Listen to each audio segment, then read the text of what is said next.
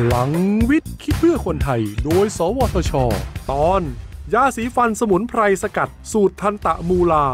แผลร้อนในเป็นปัญหาสุขภาพในช่องปาก ที่หากปล่อยไว้นาน อาจกลายเป็นแผลเรื้อรัง และเป็นสาเหตุของโรคร้ายอื่น ๆ ตามมาได้ครับ แต่ปัจจุบันมียาสีฟันสมุนไพรสูตรที่ช่วยป้องกัน การเกิดร้อนใน และรักษาแผลในปากอย่างได้ผลแล้วครับ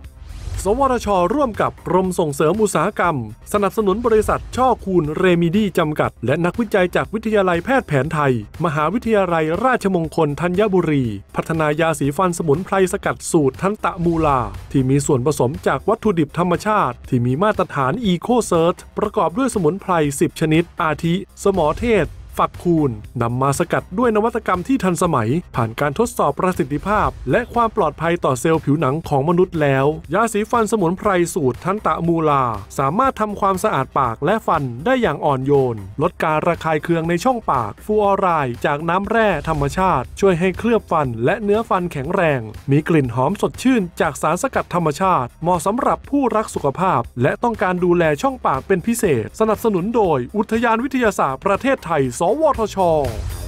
พัฒนาคนด้วยวิทยาศาสตร์ พัฒนาชาติด้วยเทคโนโลยี สอบถามรายละเอียดเพิ่มเติมได้ที่ สวทช 02 564 8000